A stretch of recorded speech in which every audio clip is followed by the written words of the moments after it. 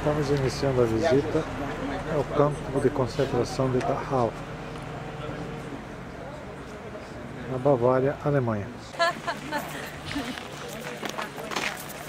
Estamos caminhando com esse pessoal que está voando, eles levantam o braço para voar.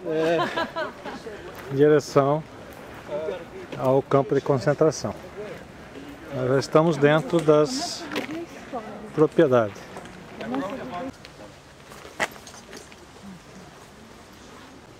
Parecido com aquele da.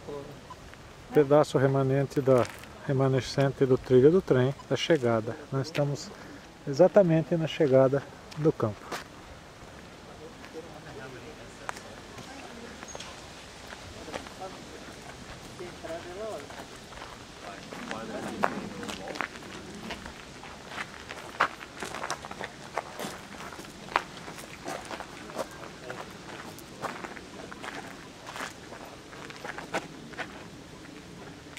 Essa foto foi tirada no dia da libertação, 29 de abril de 45.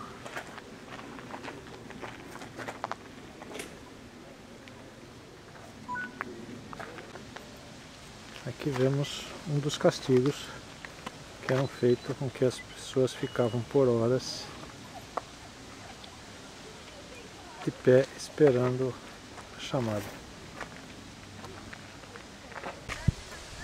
Entrada principal do campo. Estamos no lado interno do campo. Remanescente apenas um alojamento. Nós vamos ver agora as bases dos outros alojamentos.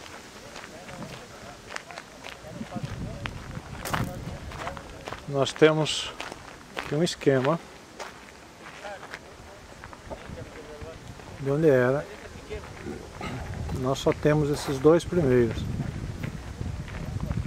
Os outros 28 já estão sendo foram derrubados. Aqui nós estamos na área vermelha.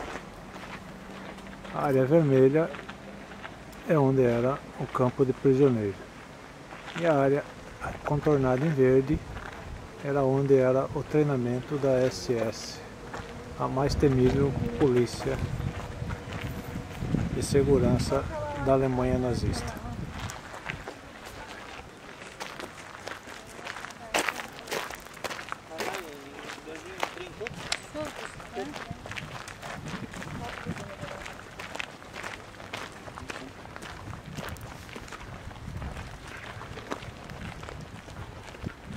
Aqui nós temos o primeiro alojamento.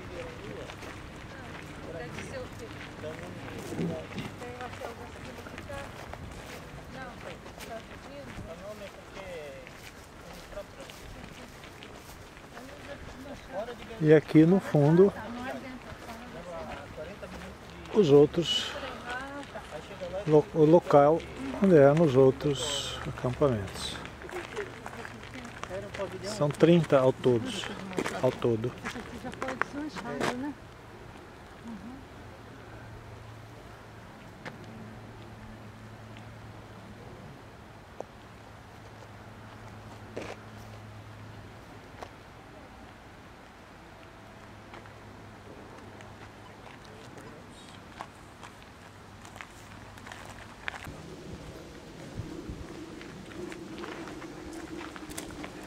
Aqui, como mostramos ali, é essa avenida central que tinha entre os acampamentos que agora não existem mais. É essa avenida principal aqui. Entre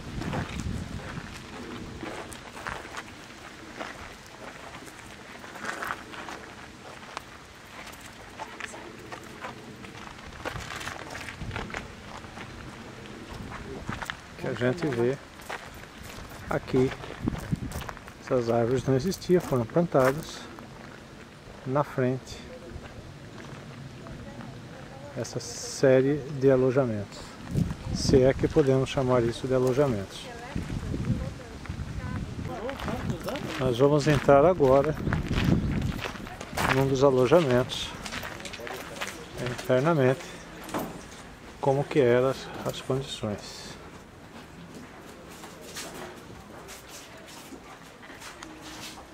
Aqui eram os alojamentos, como já foi visto em muitos filmes.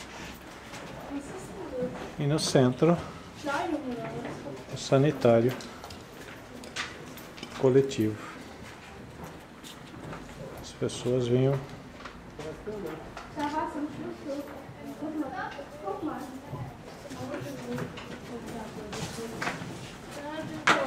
é um sanitário que atendia um lado e o outro.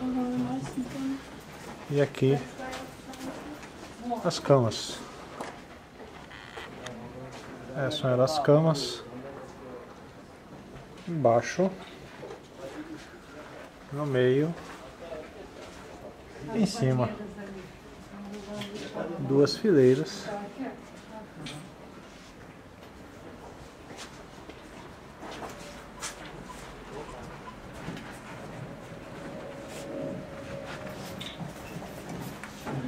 E aqui, lugar para lavar as mãos, as pias, água.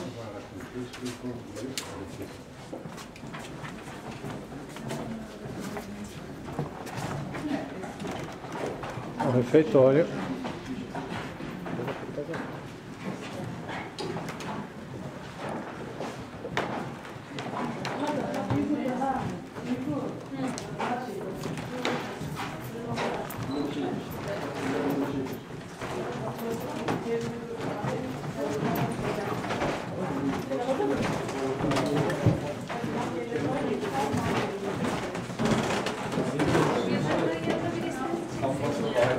Podia, após o uso, ter uma pequena mancha de café.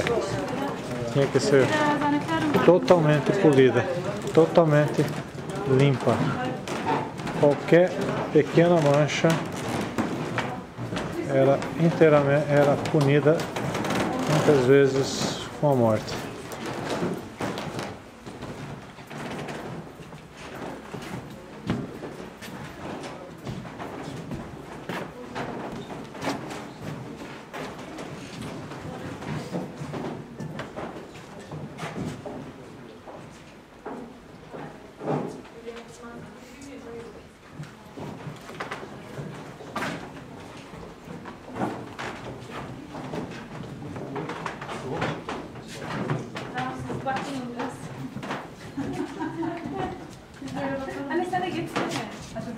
Outro jogo Tam resmin içine girdiler.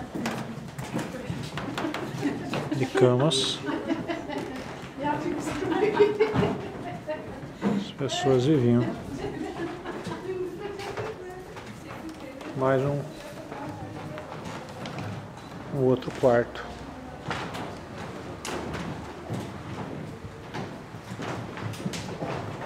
A ordem, a disciplina era absolutamente total. Não havia possibilidade nenhuma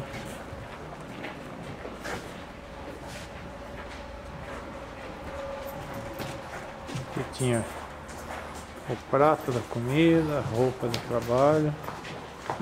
As pessoas tinham que manter totalmente limpa.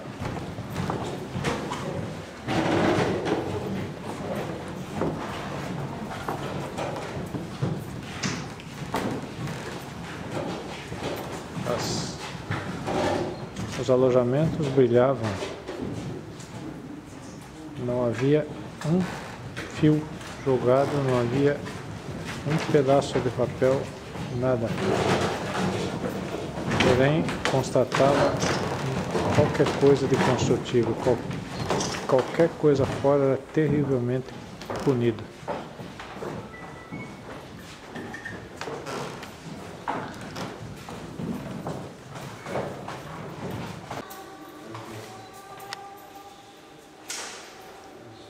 Vamos dentro de uma sala de recordações, obra de arte.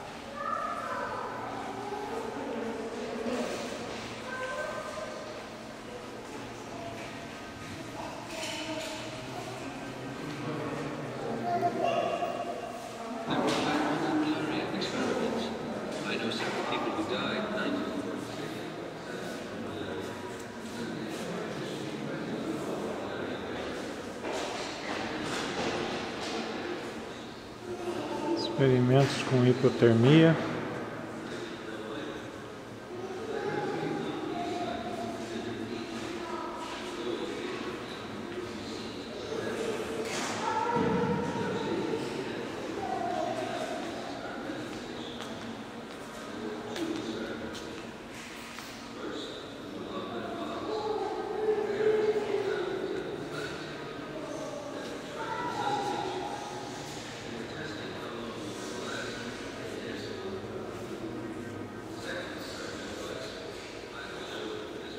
Muitos experimentos médicos eram conduzidos nesse campo e nos outros. Dos mais bizarros aos mais inescrupulosos.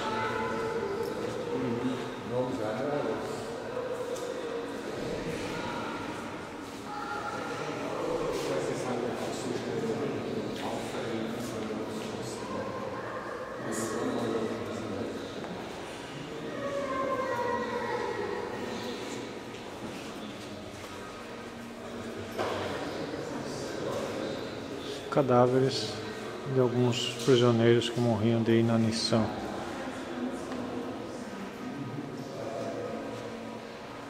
É simplesmente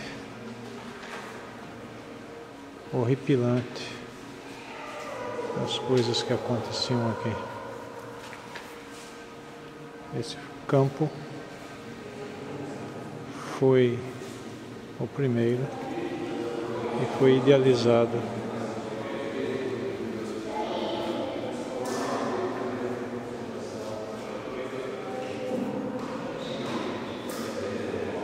idealizado para ser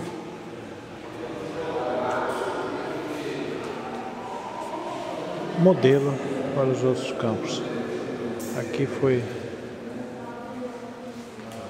criado as normas, as regras que os outros campos passaram pela. Esse campus na verdade, ele foi instituído em 1933, portanto, seis anos antes da guerra. Começou com prisioneiros políticos desafetos do regime nazista recém-plantado, 1931.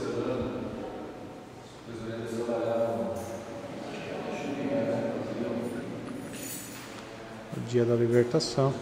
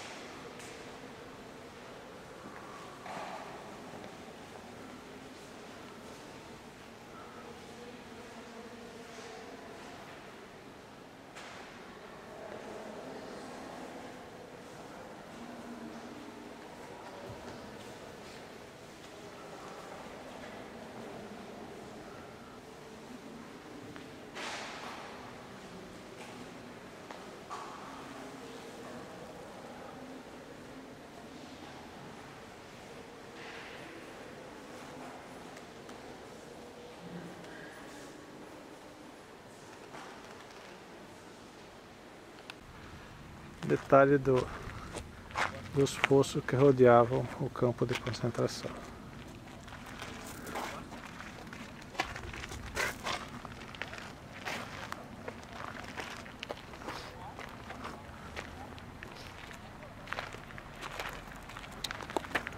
Aqui é o fundo. Três memorial, memoriais. A Igreja da Reconciliação evangélica. Um templo católico. Lá ao fundo. Memorial hebreu. E ali mosteiro carmelita- carmelitano que foi construído onde era o playground construído antes da Segunda Guerra.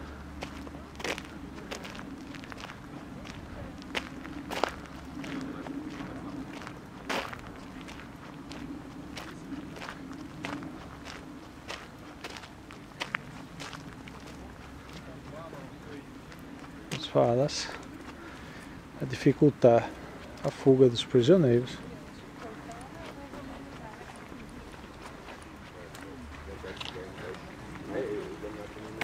Um canal de água do lado de fora que atendia ao campus. Aqui, ao fundo, um templo, uma capela russa ortodoxa.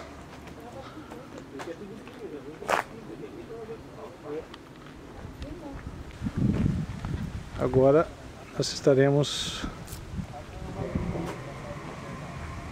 entrando na área do crematório. A SS construiu o crematório no dezembro de 1940 porque o número de mortos aumentou dramaticamente, o que era de se esperar.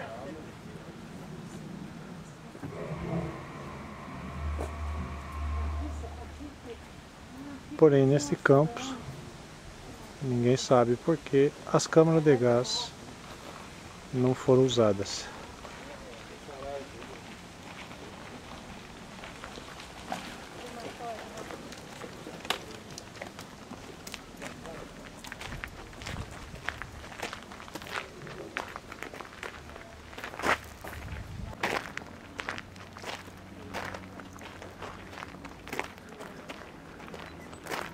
Estamos vendo aqui. Obviamente restaurado. Área externa do crematório.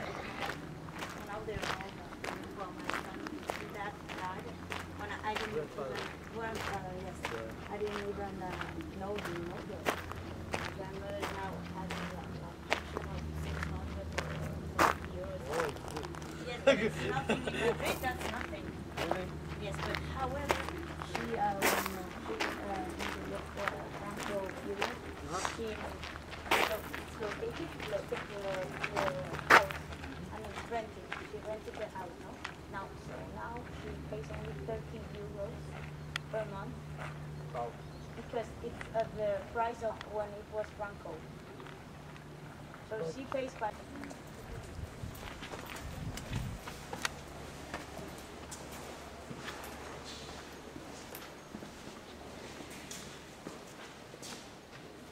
E nós estamos no local do crematório.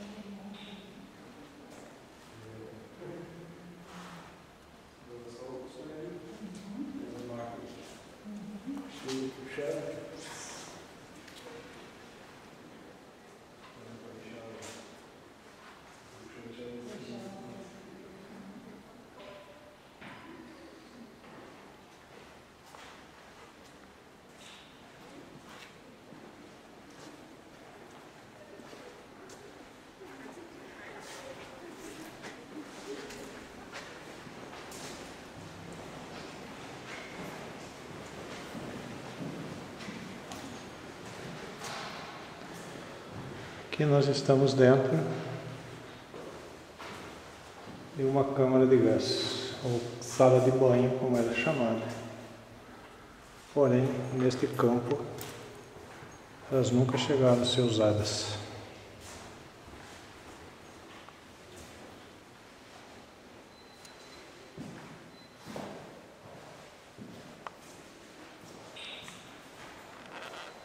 Em cima seriam os chuveiros. E essa passagem seria para o gás.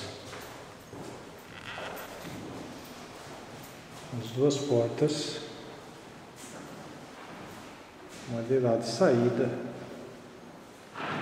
e outra aqui de entrada. E uma janela de espia para se ver de fora para dentro. Porém, neste campo nunca chegou a ser usado.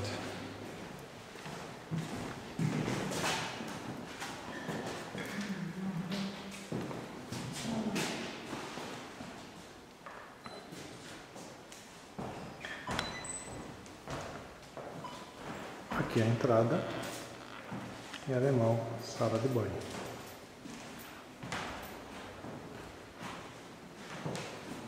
Por lá a saída para o crematório.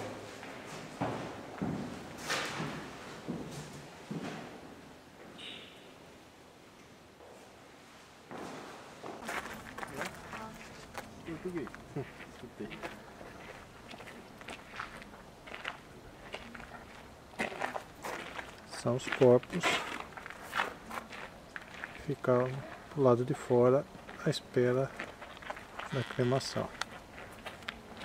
Esse é o crematório principal. Porém, formas rudimentares também de cremação foi usada. Mas foram usadas pequenas porções de gás. Olha lá, tá ali. É, pequenos grupos. Não foi, não foi usada como exterminação Não, coletiva, maciça. Não. mas em alguns casos individuais e pequenos grupos ele foi utilizado.